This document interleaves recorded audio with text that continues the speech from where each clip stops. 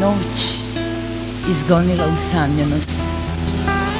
Ispod svega, kao duboka rijeka, svici u piskavoj, suvoj travi, oživjele sjenke se u njoj miču. Spavaš, boko.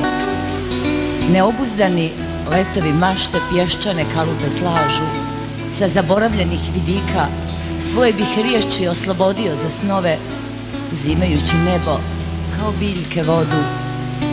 Spavaš, boko. Noću postaješ brod čija stara drvena građa škripi i stenje pod svakim naletom vremena jarboli se sapliću u oblake, oblaci ozvonike. Spavaš, boko. Veličanstvena u vilenjačkoj svjetlosti koju je vrijeme osveštalo, zakoračuješ gola u budućnost sna.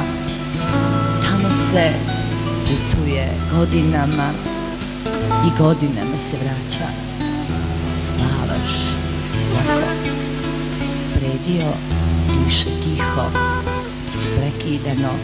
Krilati glasnici iz donjeg svijeta nadvladavaju ovaj naš lament. Spavaš, Nema drugog mora do ovoga. Duhovi mraka preuzeše vlast pod zaštitom nevidljivih bogova nereda koji predsjedavaju u ovo doba. Boko, nebo potopljeno u sobstvenu tišinu, neka ti je jutro blagosloveno kao mjesečar na litici, pjesnik je tu da ne zaspi, Boko,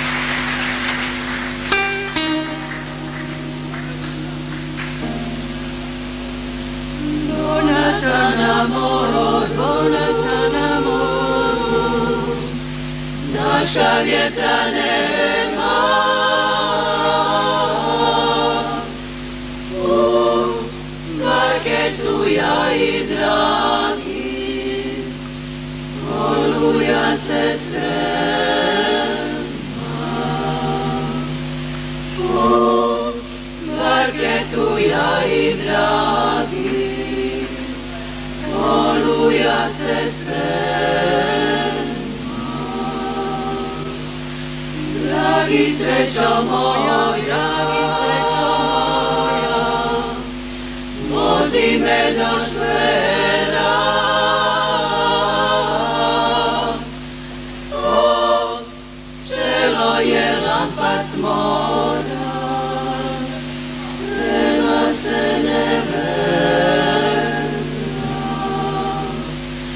O, čelo je lampa s mora, sprema se neverna.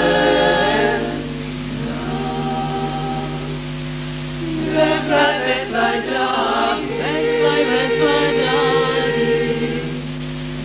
zime nad morem.